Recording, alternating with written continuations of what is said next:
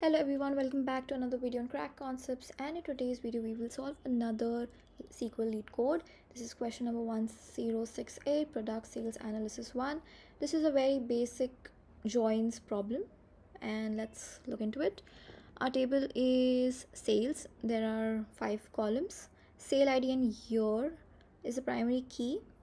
Product ID is the foreign key which means we will we might have to join the other table using product id each row of this table shows a sale on the product product id in a certain year. Note that the prices is per unit. And this is a table product which has product id and product name. Write a solution to report the product name year and price for each sale id in the sales table. Return the result table in any order.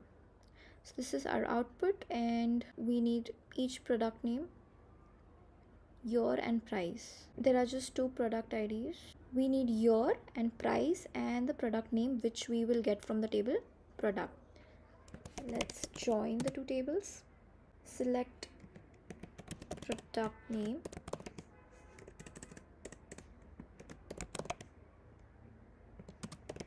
Year price from sales s. Join product p on s dot product id is equal to p dot product id let's run this. And this has been accepted. There is another way to also write the joins query. What we can do is we can select the columns and we can simply write we can add a comma over here and into this product p where s dot product id is equal to p dot product id let's run this.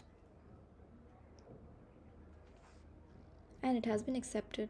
Let's say there was a column which was present in both the tables sales and product in that case you have to use alias so that there is no ambiguity.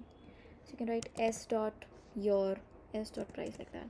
But in this case these columns are unique to their respective tables. Let's submit this.